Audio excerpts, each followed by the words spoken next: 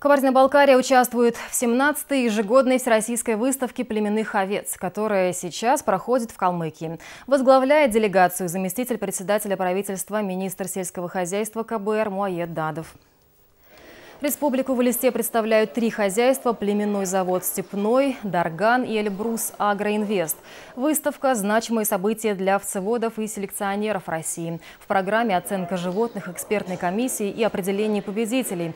Предприятия Кабардино-Балкарии из года в год завоевывают престижные награды форума.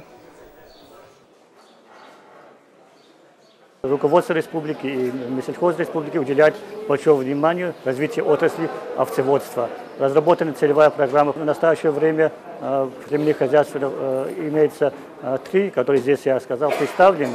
И, и планируется в дальнейшем увеличение племенного поголовья со стороны и федерального, и республиканского бюджета выделяются деньги в виде субсидий, которые получают наши племенные хозяйства. Сегодня в рамках выставки проходит семинар, посвященный перспективам развития отечественного генофонда овец. Состоится также конференция на, на тему стратегии развития овцеводства в современных экономических условиях. Запла запланированы встречи с переработчиками шерсти и продажа племенных животных. Традиционно на таких форумах проводится конкурс национальных подворий и смотр самодеятельных коллективов. Завершится выставка завтра.